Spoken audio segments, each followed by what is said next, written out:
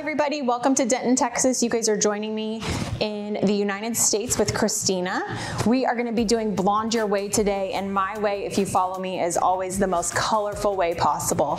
So today I'm gonna be doing a full head of baby lights using Silk Lift Strong on Christina, and then I'm gonna follow that up with the fish scale technique. Um, I've called it the mermaid tail technique because Christina's a real life mermaid. So you guys stay tuned. We're gonna have so much fun today, and I'm gonna just show you what blonding is all about in my world.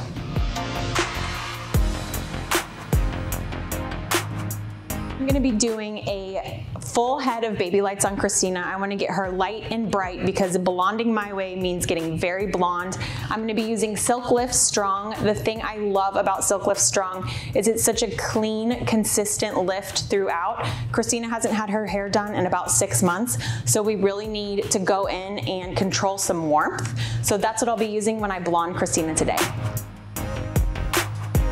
So we are halfway through the back of Christina's head. I am working just on the crown section. I wanted to pause for a second so you could see that I'm doing kind of like a pie slice or a rainbow slice. So as I work my way through, I'm actually gonna do that technique with my foil. And then my favorite thing to do right here through the front is to do tiny little baby lights right through Christina's natural part. It's gonna give a lot of brightness and a lot of boldness through her part that you're gonna be able to see from the top. So I'm gonna let you guys watch me do do one up close and personal, and then we are gonna speed it up for you.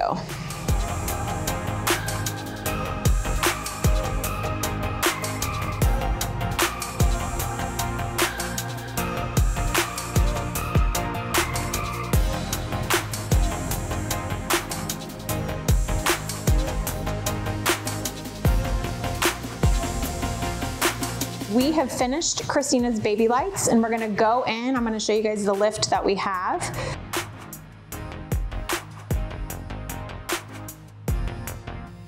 We already have the fish scale sectioning going on. The best way to do this is to start at the bottom and work your way up in little rainbow sectioning.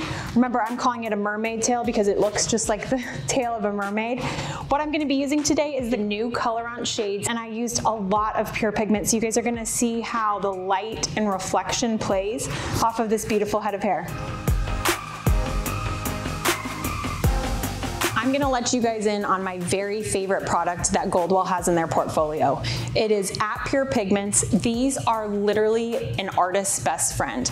The thing I love about them is you can add in as many drops as one, all the way up to a full dropper into any of the Colorance formulas that I'll be using today to literally customize the shine, the iridescence, and also the reflection that these give.